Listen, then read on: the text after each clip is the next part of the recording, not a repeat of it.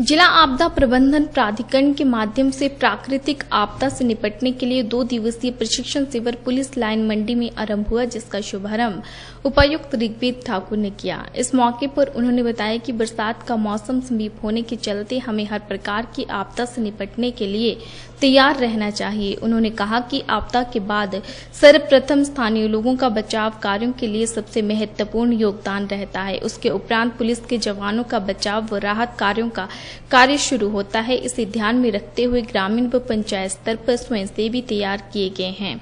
पूरे जिला में लगभग दस हज़ार से अधिक स्वयंसेवियों को आपदा प्रबंधन के बारे में प्रशिक्षित किया गया है। उन्होंने कहा कि मंडी जिला से विभिन्न स्थानों में तैनात 200 पुलिस व होमगार्ड के जवानों को आपदा से निपटने के लिए विशेष प्रशिक्षण प्रदान किया जा रहा है।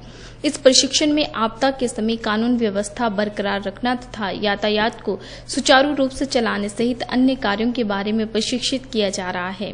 इसके अतिरिक्त अग्निशमन, प्रथम उपचार, बचाव तथा राहत कार्यों को निभाने में पुलिस महत्वपूर्ण योगदान देती है। इन सभी कर्तव्यों का निर्वहन पुलिस सही ढंग से कर सके, इसी उद्देश्य से ये कार्यशाला आयोजित की गई है।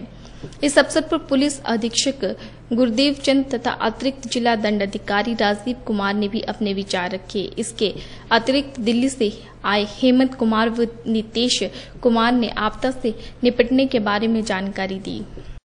आने वाला जो हमारा बरसात का सीज़न है, उस दृष्टि से हमारे जितने भी डिजास्टर से संबंधित जितने भी लोग हैं, जो स्टेक होल्डर्स हैं, उनको चरणबद्ध तरीके से सबको ट्रेनिंग देने का हमारा प्लान है। इसमें पहले चरण में हमने 200 के करीब हमारे जो वॉलेंटियर्स थे, उनको हमने ट्रेनिंग दी थी।